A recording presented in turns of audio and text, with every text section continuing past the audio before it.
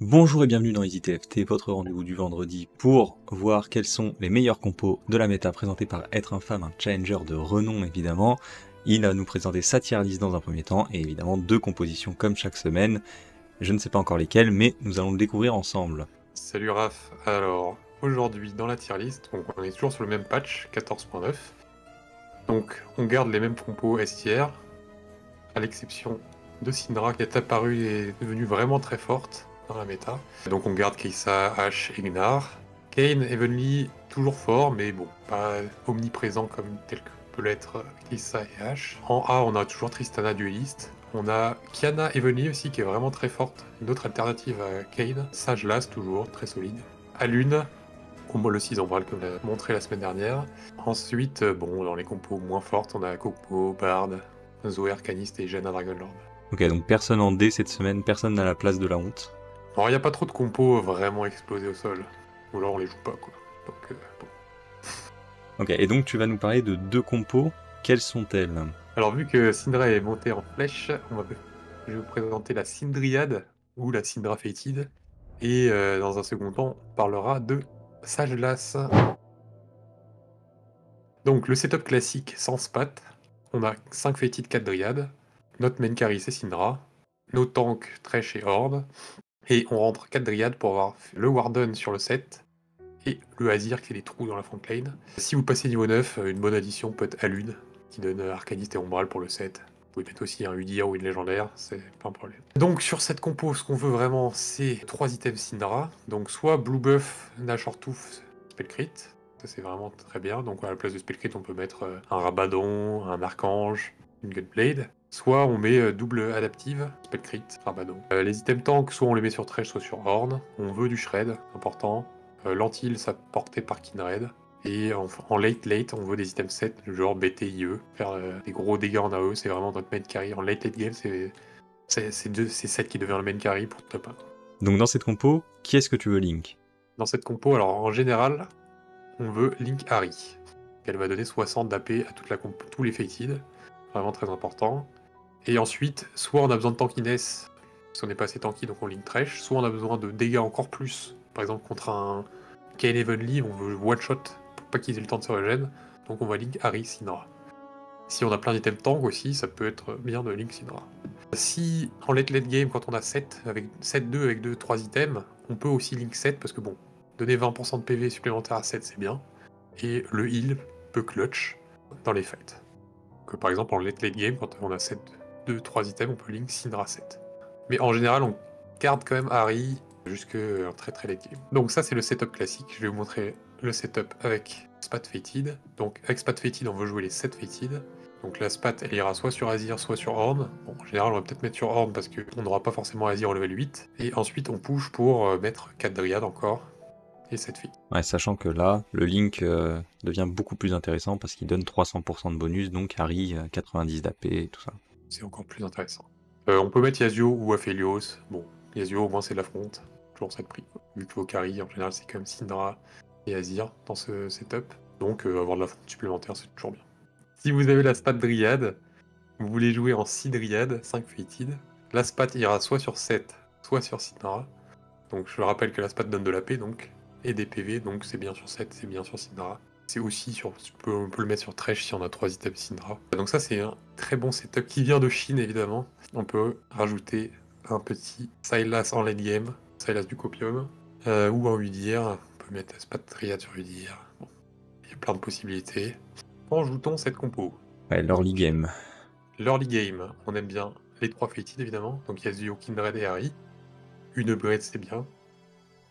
On aime bien avoir Rek'Sai aussi pour euh, rentrer Dryad avec Kindred. Un Darius 2 on dit jamais non. Donc en général Harry c'est notre holder, on peut aussi prendre euh, Kindred comme holder et Yasuo notre holder d'item temps. Donc voilà, ça c'est le setup qui permet vraiment pas cher, permet d'arriver euh, stage 3, ensuite en stage 3 on va rentrer euh, par exemple 5 Fated, Thresh et Aphelios, Darius, voilà, on est level 6. On se met dans, dans ce setup. Dès qu'on touche Horn, on rentre Horn. Dès qu'on touche Syndra, on rentre Syndra. Et voilà. Donc ensuite, au level 8, donc vous êtes en level 8 en général en 4-2. Au level 8, vous voulez une Syndra, un Horn, un Thresh 2, et euh, bon, si possible une légendaire, soit 7, soit Azir, pour venir euh, compléter la. Si vous avez Azir, vous rentrez euh, évidemment 4 dryades, par exemple Rek'Sai ou Lunar. Si vous avez 7, soit vous rentrez 7 fétides, soit vous rentrez 4 dryades aussi. Vous pouvez aussi rentrer 4 dryades, par exemple. Ça va dépendre de ce qu'on va toucher là. Voilà, Dark, Dark Rek'Sai. Si vous avez Azir et 7, bon, c'est une jackpot. GG à vous. Et on repasse le gear sur Syndra. Donc il faut évidemment quand vous avez un holder Harry, garder une Harry sur le bench, sinon vous n'allez jamais la retrouver, ça va être pénible. Mais du coup la version stable c'est ça, c'est le 5-4. 5-4 c'est très stable. Level 8 en 4-2, on a aussi euh, une légendaire qui s'appelle Silas, qui peut rentrer vraiment très bien dans la compo. Il n'y a pas de souci. Si par exemple vous avez une spot Fated à lui mettre, Silas va vous euh, carry tout le stage 4 s'il passe 2, c'est ridicule. Voilà voilà Ok, et les augmentes Quelles augmentes jouer pour jouer cette compo? Alors on voit qu'en 2-1, on aime bien les augmentes d'économie. Donc Piggy Bank, si vous avez exalté, c'est incroyable. Euh, What Doesn't Kill You, qui vous donne de l'économie et des items. Epoch, Patient Study, tout ça c'est des augmentes d'éco en 2-1, qui sont vraiment incroyables. Escort Quest si vous avez un start win streak, pour une augmente d'éco. Sinon, des augmentes de win streak par exemple, donc Slice of Hand, Fully Adapted, casque adaptatif va vraiment bien rentrer dans la compo. On peut le foot, on peut le mettre sur Syndra ou sur Horde. La Spat Fétide évidemment qui est pas trop mal. Le Healing Orbs, vous avez une grosse front, vous avez qui le heal, très très bien. En prismatique on retrouve Shopping Spree, bon le Golden Egg, Pium. Starter Kit, bon si vous avez Syndra évidemment, euh, c'est très fort, ou Horde même. Ensuite on aime bien les augmentes de dégâts, donc Joe Lotus par exemple, Baboob, Fétide Crown, c'est ok.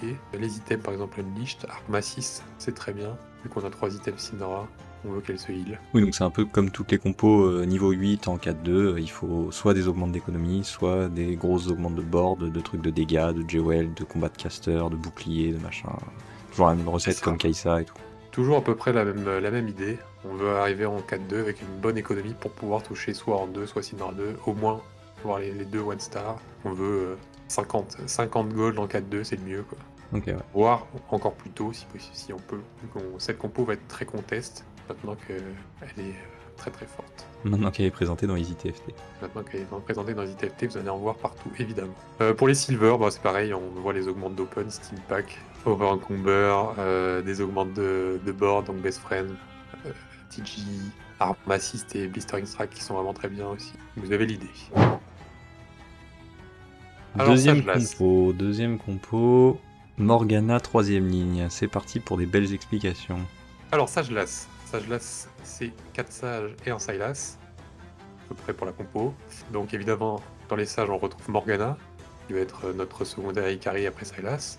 Euh, Wukong, bon, légendaire. Diana et Zira. Zaira et Galio et Riven pour les 3 Storyweaver. Soraka pour le Heavenly et l'altruiste. Et enfin Rakan pour l'altruiste et le Dragon Lord. compo se met vraiment très bien. Euh, c'est vraiment très fort si vous arrivez à trouver Silas 2. Bon, je vous préviens tout de suite, pas une chose facile. Vu le nombre de Keissa dans par lobby, euh, le nombre de gens qui vont jouer aussi cette compo, euh, Silas rentre dans toutes les compos, donc euh, c'est compliqué. Mais si vous le trouvez, c'est très fort. du coup, on a Kale bleu et elle booste quoi Morgana Silas, donc on est obligé de mettre Silas troisième ligne à cause de quoi? Sage?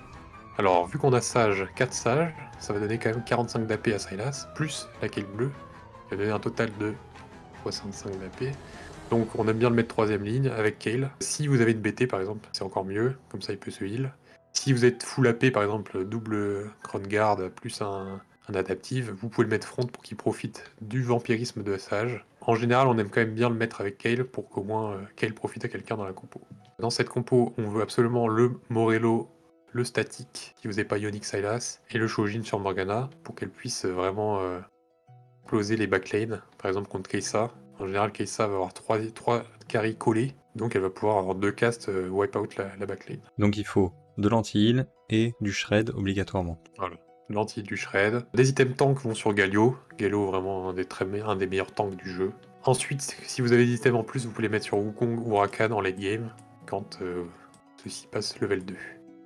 On peut, dans cette compo, jouer Atrox over Diana il euh, n'y a pas de souci. Par exemple, si vous avez Twelsi, c'est encore mieux évidemment. Euh, si vous avez une spat sage, par contre, vous jouez Diana. Si vous, par exemple, vous ouvrez un Wei au level 8, vous pouvez le rentrer à la place de Wukong. Si vous avez d'autres items AP à lui mettre, par exemple, Morgana va porter ça, Wei va porter un Rabadon, Il n'y a vraiment pas de souci. On peut jouer aussi Wei. On peut très bien avec Morgana.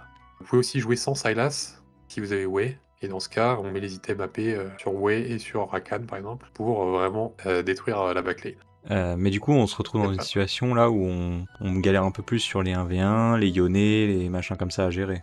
On n'a pas de, ta- de, de solo target, on n'a que des AOE, donc dans ce cas-là, c'est peut-être Wukong qui peut 1v1 euh, en late game, par exemple GS, euh, Titan BT. Avec le Sage, il va pouvoir vous carry. Mais bon, évidemment, c'est une légendaire, donc c'est pour ça qu'on adore avoir Sylas dans la compo pour pouvoir gérer ces situations de 1 contre 1 contre un Kate 2 ou, ou ou euh, Volibear par exemple. Alors, l'early game de Sagelas, évidemment, vous avez un start story viewer avec Garen 2. Vous mettez les items de Sagelas ou de Galio sur Garen. Les items AP de Morgana sur Zira.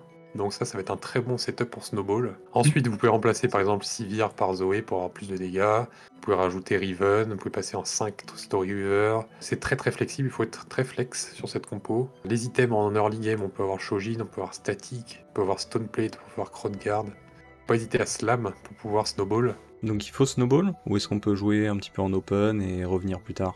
Si vous avez des augments, en fait ça dépend de votre- vos augmentes évidemment, de votre euh, game. Si vous avez Garen 1, Zira 1, Sivir 1, bon, vous n'allez pas, vous pas snowball grand chose. Ça dépend aussi de vos, vos augmentes. Donc, quelles augmentes on retrouve dans Sagelas Les augmentes de combat, 2LC, combat de caster, Sleight of Hand, toujours pareil. Fully Adapted, qui va très bien sur Silas. Si vous avez d'augmentes d'open, par exemple, Piggy Bank encore, Caretaker's Favor qui va vous donner des items euh, level 8 euh, au fur et à mesure des, des levels. Dans ce cas-là, vous pouvez open, mais votre game être un peu plus euh, complexe. Vous allez jouer de derrière, et on n'aime pas trop jouer de derrière dans cette compo.